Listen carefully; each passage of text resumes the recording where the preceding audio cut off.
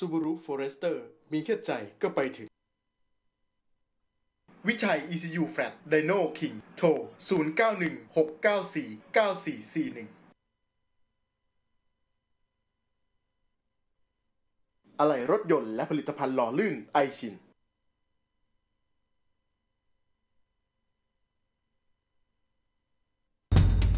พบกับนิตยสารในเครือสื่อสากลทั้งสองฉบับ Formula Four Wheels ต้นเดือน Eco Air เพื่อสุขภาพที่ดีของตัวคุณ และคนที่คุณรัก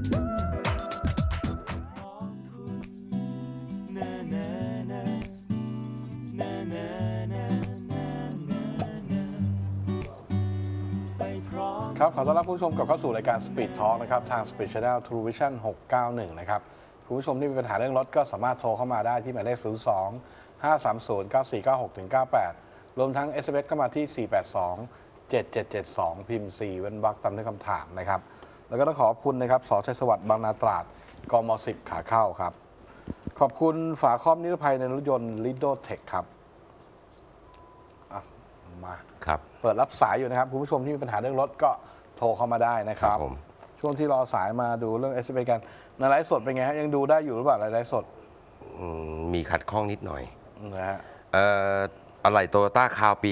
96 ตอบไปแล้วที่ไหนอัมีขายอัตอบตอบไปแล้วใช่ไหมครับ ยังมีขายอยู่เชียงกงก็ยังมีขายอยู่มีมีมีเบอร์ห้างก็มีครับ ครับ เบิกศูนย์โตต้าก็ยังได้บางตัวครับยังมีใช่ขครับองอยู่ มาดู s อ p กันนะฮะฮะนีโอนิสสันนีโอออโต้เวลาเลี้ยวซ้ายจะดังป๊อกป๊อกป๊อกแถวช่วงล้อครับจะเป็นบ่อยเวลาลงเนินเพลาขับครับ เพลาขับอย่างเดียวกูครับกกักเนี่ยเพลาขับก็เสียก๊อกๆเนี่ยนะครับเป ลี่ยนอย่างเปลี่ยนอย่างเดียว ถ้าเลี้ยวซ้ายดังข้างขวาจะจะเสียครับอืมนะครับ ส่วนเปลี่ยนมากจริงๆก็เปลี่ยนสองข้างเลยไม่แพงแล้วของตัวนี้ก็ประมาณพันห้าอืมพันกว่าบาทครับ นะครับเปลี่ยนเพลาขับได้เลยนี่มาจากยางหุ้มยางหุ้มเพลาขาดรถขับหน้าทั้งหลายเนี่ย ใช่ครับ ถ้าเคยเคยก้มก้มไปดูใต้ท้องรถด้านหน้านะจะเห็นจะมียางยางกันฝุ่น อืม เป็นยางปลอกครับ ยนต์ยนต์ดำๆเนี่ยครับ ถ้าเราต้องหมั่นคอยดูนิดนึงคือเวลายางกันฝุ่นขาดปุ๊บ ไอ้พวกจาระบีอะไรพวกเนี้ยมันจะกระเด็นออกไปถูกต้องเพราะว่าเพลามันหมุนตลอดเวลา ใช่แล้วก็บางทีลุยน้ำลุยเศษฝุ่นทรายเข้าไปทำให้มันสึกหรอเร็วใช่ครับ บางทีแค่ยางกันฝุ่นขาดเนี่ยเราปล่อยทิ้งไว้มันลามไปจนถึ มันต้องเปลี่ยนทั้งเส้นหเลรืยอเปลี่ยนทั้งเส้นเลย เพราะฉะนั้นที่เขาบอกว่าบางทีเราถ้าเราดูเห็นขาดปุ๊บ เรารีบเปลี่ยนไอ้ยางกันฝุ่นเนี่ยหลักร้อยใช่ครับ นะไม่ต้องไปเสียตังค์เยอะ ครับเราต้องดูแลนิดนึงรถพวกรถขับหน้าทั้งหลายใช่นะครับรับเดี๋ยว สายคุณตุ้ยฮะสวัสดีครับ ครับ ครับเชิญครับ ครับผมว่าไงครับ เมื่อครักี้บ สายหลุดนะครับ B11 นะครับ อ๋อ อ๋อ B11 โอเคอ่าเมื่อกี้อ่าซันนี่ B11 ว่าไงฮะ เอ่อคือเป็นถามถามเฮียโง่หนะครับครับเฮียโง่ครับ ครับ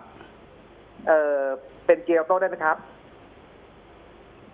เป็นมัน เกียร์โต้ได้ไหมครับมันเป็นอะไรครัเกีบยร์โต้ได้ไหมครับ มีอะไรไหมครับ เดี๋ยวนะ ตอนนี้ใช้เกียร์ธรรมดาอยู่ ครับ จะเปลี่ยนเป็นเกียร์ออโต้ คืถูอกไหม อยากให้คนอื่นเขาขับได้ครับ อ๋อโอเค ใช่ครับ โอเรถเป็นเกียร์ธรรมดาอยู่ ต้องการเอาเกียร์ออโต้มาใส่ อืมถูกต้องไหมครับ ฮัลโหลยังอยู่ไหมอะครับต้องต้องฟังเราทางโทรศัพท์นะครับ เบาเสียงทีวีก่อนบังเสีนะยงครับอ่าเสียงมันจะได้ไม่ดีเลยอะบังแล้วครับอ่าโอเคเบาแล้วครับ อ่าโอเค คือทำได้ครับ แต่ว่าถ้าจะให้ดียกทั้งเครื่องตะเกียร์ครับ อ๋อต้องยกทั้งเครื่องเลยเหรอครับ ใช่ครับ เพราะว่าเกียร์ออโต้รุ่นเนี้ยจะเป็นกระเป๋อลม เพราะฉะนั้นเนี่ยเวลาที่เราจะเอาเกียร์ไปใส่อย่างเดียว มันจะหาเกียร์ยากนะครับ อ๋อ อ๋อ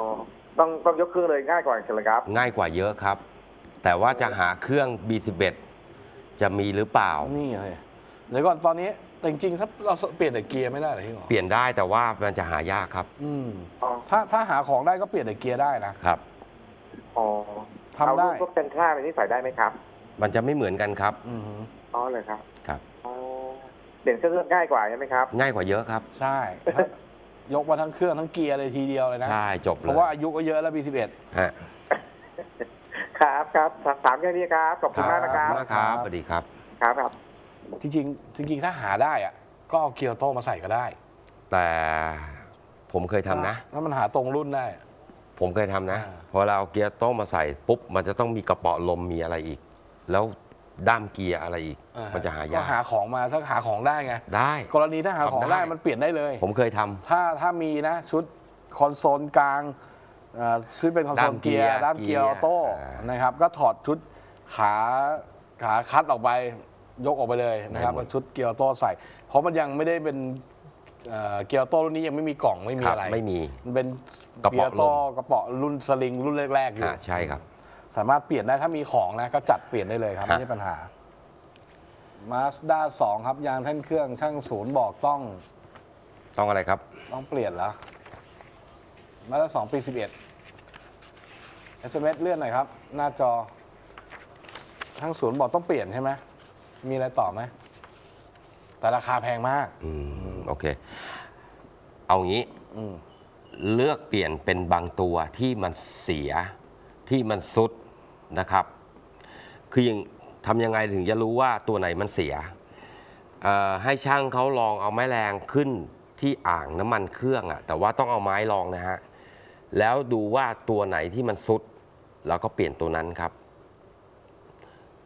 ขอให้เป็นของแท้มันจะคุณภาพที่ดีกว่าพี่บอมครับนะครับ คือบางครั้งก็ต้องยอมเสียนะข้างนอกก็อาจจะมีแต่ว่ามันเป็นของเทียม ใช่มันจะไม่ทนเท่าของแท้ ใช่ครับ ถ้าถ้าไหวก็เปลี่ยนที่ศูนย์ไปเลยครับ นะครับ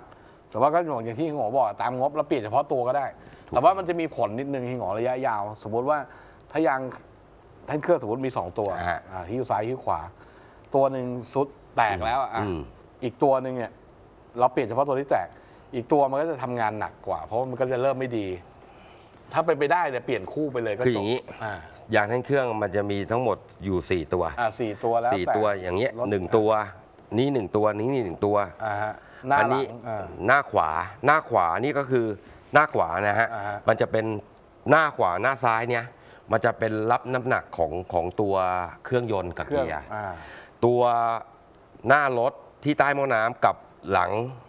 ตรงห้องโดยสารเนี่ยอือฮึ จะเป็นตัวเวลาที่เราเข้าเกียร์มันจะมีการกระชากยางท่านเกียร์ว่างั้นเถอะใช่ตัวหลังมันจะเป็นอะมันกระทั้งชากชุดอะทั้งชุดคือสี่ตัว เครื่องกับเกียร์เนี่ยสองตัวเนี้ยจะเป็นสำคัญที่รองรับน้ำหนักที่ให้มันสั่นหรือไม่สั่นครับอืม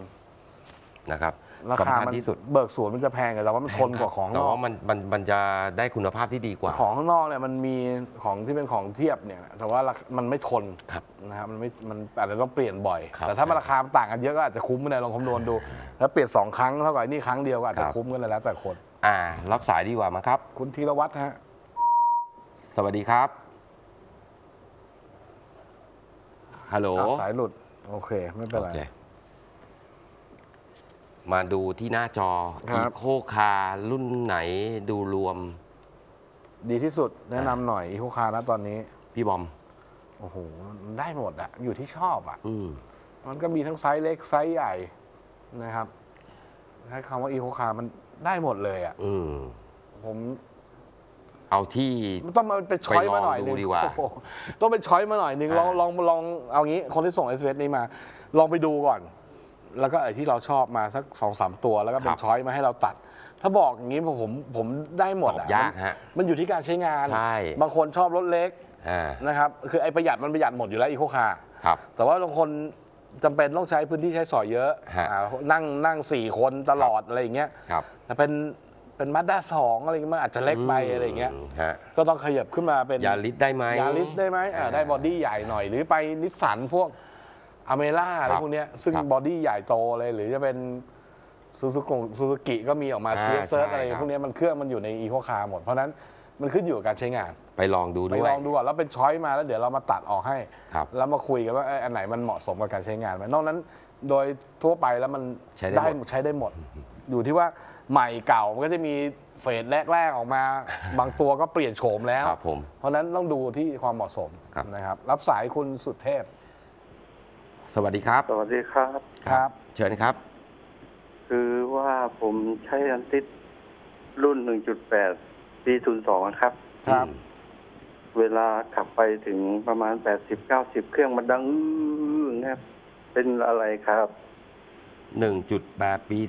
02 ครับ เป็นรถบ้านหรือรถแท็กซี่ครับ รถบ้านครับ รถบ้านครับ ใช้วิ่งมือเดียวครับ วิ่งประมาณกี่กิโลแล้วครับ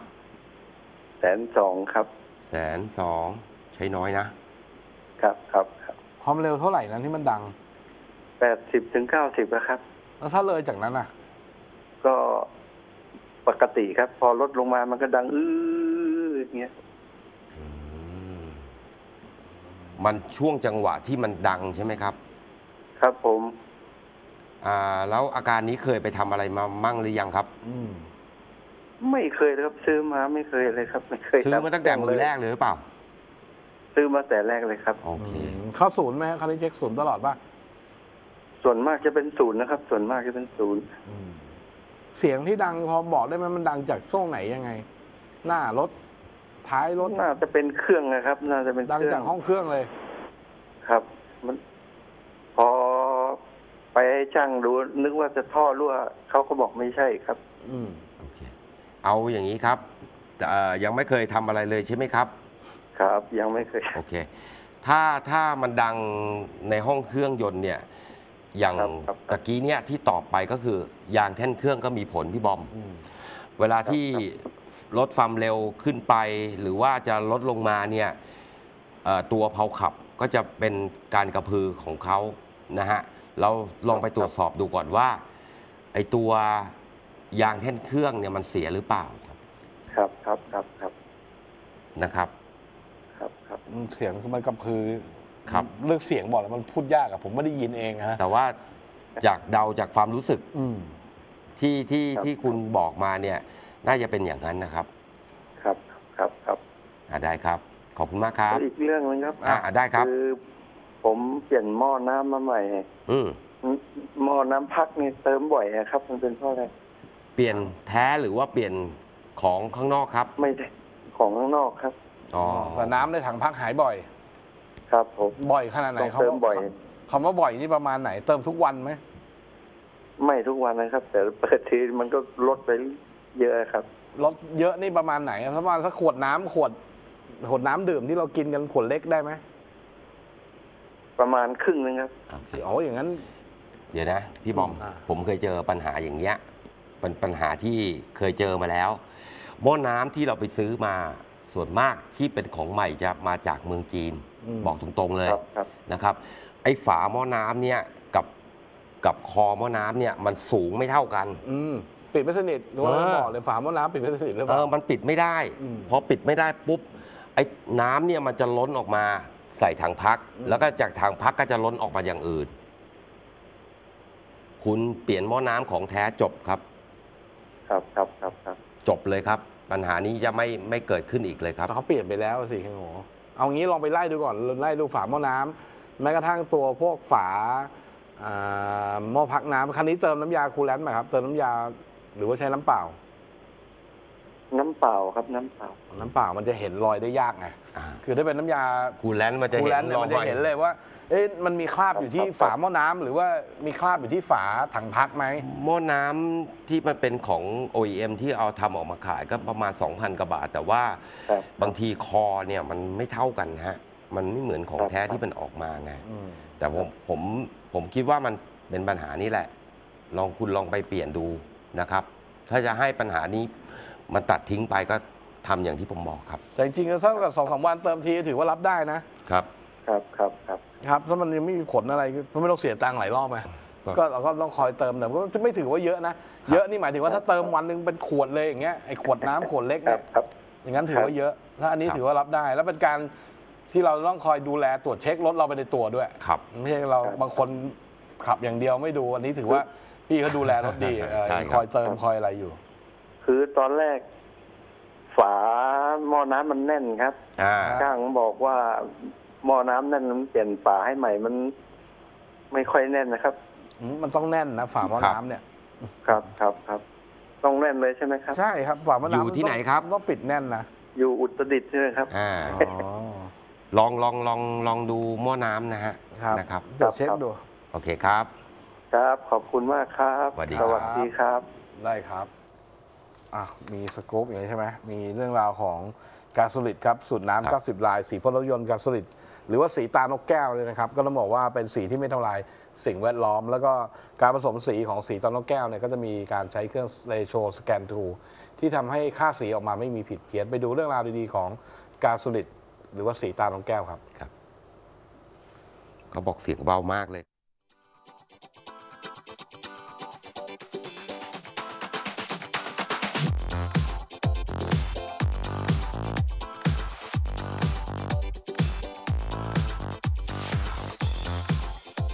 สีกาสุริ ซึ่งเป็นแบรนด์ที่ได้รับความนิยมทั่วโลก และมีคุณภาพระดับพรีเมียม จากประเทศเยอรมนี โดยบริษัทพาราโคตติ้งจำกัด ซึ่งสีกาสุริ หรือสีตรานกแก้ว ยังเป็นผู้นำด้านสีพ่นรถยนต์ในประเทศไทยมากกว่า 60 ปีด้วยคุณภาพสีที่ได้มาตรฐานและมีคุณภาพสูง จึงทำให้สีกาสุริ เป็นที่ยอมรับของวงการยานยนต์ และอู่ซ่อมสีรถยนต์ทั่วโลก สีกาสุริได้มีการพัฒนาสีที่เป็นมิตรกับสิ่งแวดล้อม เพื่อช่วยลดมลภาวะ จนได้กาสุริ90 ลาย สีพ่นรถยนต์สูตรน้ำ สีพ่นรถยนต์ สีสูตรน้ำระบบสี 2K ซึ่งในปัจจุบัน สีกาสุริให้ความสำคัญกับการดูแล และรักษาสภาพแวดล้อม โดยการช่วยลดมลภาวะ และสารเคมีที่ตกค้าง สีกาสุริ90 ลาย ที่มีส่วนผสมของสารละลายเคมีน้อยกว่าสีสูตรทินเนอร์ ถึง 90%และไม่มีกลิ่นทินเนอร์ ไม่ทำลายสภาวะสิ่งแวดล้อม จึงทำให้สีสูตรน้ำของกาสุริเป็นที่นิยมอย่างสูง และแพร่หลายในปัจจุบัน นอกจากเทคโนโลยีสีสูตรน้ำแล้ว กาสุริยังมีเครื่องมืออันทันสมัย ที่ช่วยในการทำงานให้ง่ายขึ้น อย่างเครื่องสแกนค่าสี Ratio Scan Tool เพื่อให้ง่าย และมีความแม่นยำสูง ในการค้นหาข้อมูลค่าสี เพียงแค่วางเครื่องสแกนค่าสีลงบนตัวรถ เพื่อให้เครื่อง Ratio Scan Tool ทำการสแกนค่าสี ซึ่งข้อมูลที่ได้จะส่งต่อไปยังเครื่องคอมพิวเตอร์สำหรับการค้นหาข้อมูลสูตรสี และเพื่อให้ได้ค่าสีที่ถูกต้องแม่นยำ ทางการสูลิดได้คิดค้นโปรแกรม Profit Manager Pro Premium Body Shop Management เพื่อช่วยในการค้นหาข้อมูลสูตรสี ซึ่งมีความรวดเร็ว และแม่นยำสูง โดยฟังก์ชันที่ง่ายต่อการใช้งาน และมีการเก็บข้อมูลสูตรสี และการผสมสีของรถที่เข้ามาใช้บริการทำให้สีรถไม่ผิดเพี้ยน ช่วยเพิ่มประสิทธิภาพในการทำงานสี จุดเด่นของสีสูตรน้ำของกาสูลินนั้นพ่นง่ายเหมาะแก่การทำงาน มีความเงางามสูง เป็นสีที่มีการกรบรอยได้ดี จึงลดปัญหารอย และตำหนิต่างๆ ของพื้นผิว ช่วยลดจำนวนการพ่นให้น้อยลง และสีกาสุริต90 ลาย ยังมีค่าปริมาณสารละเหย VOC ต่ำกว่ามาตรฐานยุโรป สีนกแก้ว ไม่เพียงดีต่อรถคุณเท่านั้น ยังดีต่อสิ่งแวดล้อมด้วย